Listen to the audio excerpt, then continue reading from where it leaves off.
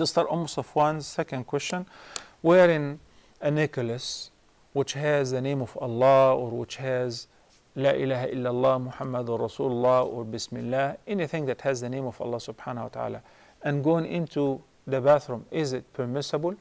If you conceal it, like you put it inside your clothes, you don't show it, you may do that. Uh, even though I prefer that one should not wear a necklace which has uh, any Quranic verses or anything of this nature in order to avoid that. Barakallah fiki. But it is permissible if you conceal it and you put it inside your shirt uh, or your aba'ah.